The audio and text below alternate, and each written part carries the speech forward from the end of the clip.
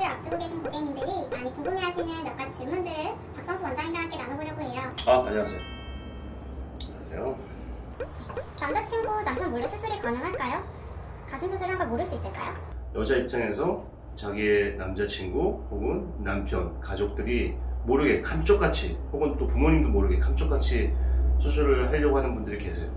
남편들이 뭐 요즘에는 뭐 코로나 때문에 출장도 많이 이제 빈도가 줄긴 했지만 과거에 보면은 남편분이 약간 해외 출장을 간그한 며칠 사이에 수술을 감쪽같이 받고 짠 하고 이렇게 이쁜 모습으로 나타나서 남편분을 놀라게 해주려고 하시는 건지 아니면 뭐 본인 만족을 위해서 남편 몰래 이제 수술하시려고 하는 건지는 잘 모르겠지만 어쨌든 그렇게 며칠 동안 이렇게 말미를 잡아가지고 감쪽같이 수술을 하려고 하시는 분들이 계세요.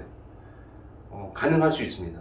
그러니까 어, 아주 깔끔하게 수술해서 빨리 회복하고 뭐 멀쩡한 채로 이렇게 멀쩡한 듯이 이렇게 지내실 수 있을 겁니다. 그렇지만 저는 그렇게 남편 몰래 혹은 남자친구 몰래 수술하시는 거를 권장하지는 않아요. 왜 그러냐면 이게 가슴 수술이라고 하는 게 일단은 본인이 만족하려고 하는 거죠.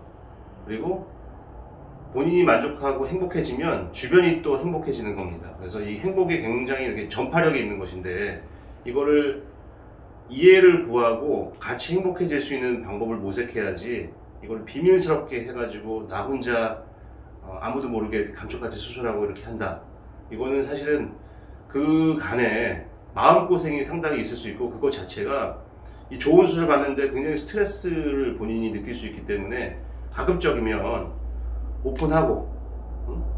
수술할 때까지는 뭐 이게 좀 비밀스럽게 한다 하더라도 짠하고 자신있게 이렇게 하시면 이쁘게 변화되고 더 좋아지고 더 행복해하고 이런 모습을 보면서 남자친구나 남편이 절대 반대하고 이거 안 해야 될 수술했다고 이렇게 막 반대하지는 않을 거라고 저는 생각합니다. 그리고 제가 수술해드린 분이 분들이 다 보면은 두루두루 남자친구나 남편분들하고 원만하게 행복하게 다 잘 사시고 또 남자친구 없는 분들도 수술하고 나면은 좋은 분들도 만나시고 또 좋은 분들 만나서 결혼도 하고 아기도 낳고 해서 또 아기 데리고 오시고 이런 것들을 보면서 저는 사실 가슴 수술이 뭐 하나의 뭐 신체 부위를 변화시키는 수술이긴 하지만 어, 더 나아가서는 또 여성에게 행복을 주고 또 여성 주변의 가족들이나 지인분들에게도 행복을 이렇게 많이 전파시켜 주고 해서 상당히 그런 의미가 긍정적인 의미가 있다고 보고 사실 굉장히 보람을 느끼고 일을 하고 있습니다.